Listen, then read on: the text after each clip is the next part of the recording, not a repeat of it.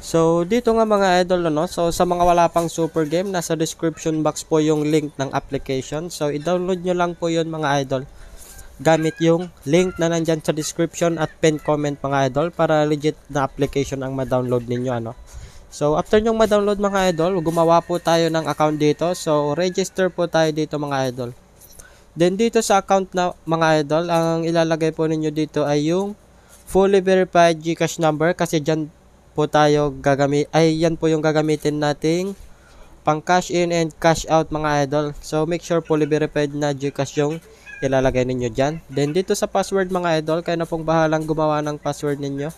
Then dito naman po sa OTP, i-click nyo po itong send. So pagka-click nyo ng send dyan mga idol, may darating na verification code sa number na nilagay ninyo. No? So, ilagay lamang po ninyo yung verification code dyan mga idol na marireceive ninyo. Then, click register. So, after nyo pong successfully makagawa ng account, pwede na po tayong mag-login. So, sa mga baguhan dito mga idol, ang pinaka top games nila dito, si Minesweeper and si Rocket at saka yung Aztec Magic mga idol. Pero, ang nilalaro ko dito mga idol ay itong si color game, no? So, may color game, Dragon Tiger, Mythical Animals, etc. So, pinakamagandang laruin dito mga idol itong nasa harap. So, yan mga idol. Para po makapag-cash in tayo dito mga idol, tuturo ko sa inyo. Click nyo lang po itong wallet. Then dito pipili po kayo 100, 200, 500, then 1,000 mga idol, no? So, napakadali lang po mag-cash in dito mga idol. Sasampulan ko po kayo. Click nyo itong 200 pesos. Then lalagay ninyo yung GCash number ninyo na gagamitin, no? So yung ginamit natin pang register. So make sure na may laman kasi nga magka-cash in tayo dito. So dito tayo mapupunta mga idol. Then ilalagay natin yung number natin dito mga idol na gagamitin natin. So after nyo malagay yung number, click nyo lang yan. Then may verification code na magte-text sa number natin mga idol. So yan na mga idol, no? So tignan natin. Yun nga. 196672. So, after nyong malagay yung verification code, susunod yung 4 digits impin nyo mga idol, ano. So, ilagay ko muna yung impin ko dito. Post muna. So, yan mga idol. After nyong malagay yung 4 digits impin nyo dito, i-click nyo lang itong next. Then, yan mga idol, successfully paid na tayo mga idol. So, screenshot na lang natin yan para sa ating proof of payment. Kung sakaling mag-delay or any ano man yan, no? So, pero dito mga idol, bihira lang magka-problema sa cash in dito. And cash out, napakabilis lang. So, yan mga idol, may 200 na tayong balance, no? So, sa mga first top up dyan mga idol, may libre po kayong 50 pesos sa first top up ninyo ng 200, no? no? So, dito ngayon mga idol, pwede rin po kayo ditong mag-agent at kumita ng walang puhunan. So, dito, click nyo lang yung earn money. Then, susunod dito sa my agent mga idol. So, dito, nakikita ninyo yung promotion link ninyo. I-copy nyo lang po yan, ano. So, after nyong makopy, yan po yung gagamitin natin pang invite, ano. So, kung agent na po kayo dati, eh, madali na lang po sa inyong mag-invite mga idol. So, yung makukuha nyo naman po sa kada invites nyo mga idol ay nandito sa agent details. So, pyramidal to mga idol, no. So, ABC. So, kapag naka-register ka ng account mo, so, ikaw ito mga idol, ikaw itong me. Then, kapag may na-invite ka, magiging letter A mo na sila, no? Then, kapag yung na-invite mo, may na-invite din, may magiging letter B sila mga idol. So, which is, ito yung makukuha mo mga idol. Sa bet commission and sa kanilang first top up. Then, yung na-invite ng na-invite mo ay naka-invite din. So, magiging letter C na. So, ganun po kadaling mag-agent dito sa Super Game. Then dito, sa may competition mga idol, para po ito sa mga masisipag mag-agent, no? So, ito yung competition bonus. So, top 1, mayroon siyang 150,000. Then, top 2, merong 100,000. Then, top 3, 80,000. Then, top 4 to 10, 50,000. Then, top 11 to 20, merong 20,000. And, top 21 to top 30, merong 10,000.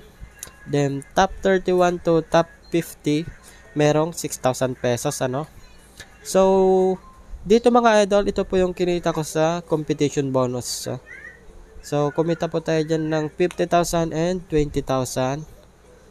So, dito ngayon mga idol, lalaro po tayo dito sa Dragon versus Tiger, ano. So, tuturuan ko po kayo ng tricks kung paano manalo sa Dragon versus Tiger mga idol. So, dito mga idol, ano, pipili lamang po tayo dito, Dragon or Tiger mga idol. So, D versus T ito mga idol. So, unang tayo natin mga idol, sa Dragon po tayo, isang libo yan mga idol. So, sana manalo to mga idol ano. So, 9 mga idol, then sa 8. So, matik panalo tayo dyan mga idol, mas mataas yung card natin ano. So, panalo tayo dyan ng 940 pesos mga idol, kasi nga may tax to mga idol. So, dito mga idol, susunod na tayan natin, magta-tiger tayo mga idol no. So, kasi yung nasa dulo, kung napapansin nyo, nag-alternate siya. So, pwede niya yung gayahin mga idol. So, 800 muna tayo dito sa Tiger. So, yan mga idol, panalo tayo dyan. So, sumusunod siya sa alternate mga idol, ano. So, magda-dragon tayo next. Next round mga idol. So, dragon tayo dito. Sundan natin yung pattern mga idol. Mirror pattern to mga idol, no. So, ibig sabihin noon, sinusundan niya lang yung nandun sa dulo na resulta. So, 2K tayo natin sa dragon mga idol. So, G's, nataas na card na yan mga idol. So, panalo po tayo dyan ulit mga idol.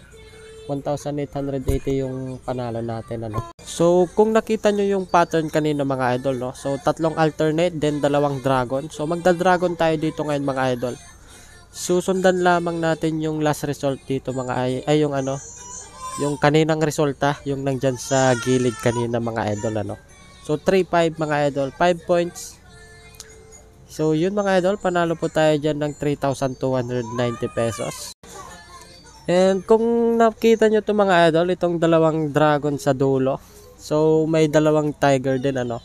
So, magta-tiger tayo dito ngayon mga idol. Susundan naman natin yan ngayon. So, taya tayo ng 1,000 dito mga idol. Sa tiger ano. 4 king. So, sure win tayo dyan mga idol. Isang libo tayo natin. Nakadali na naman tayo mga idol. So, as of now mga idol, wala pa po tayong talo, ano? So, yung 1,900 natin mga idol, naging 9,716 na. So, tiger pa rin tayo dito mga idol. Sundan natin yung dalawang tiger.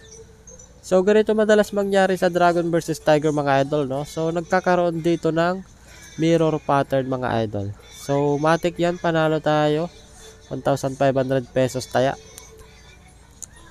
So, ngayon mga idol, after ng ano na yan, pwedeng magtatlo tong tiger mga idol ano.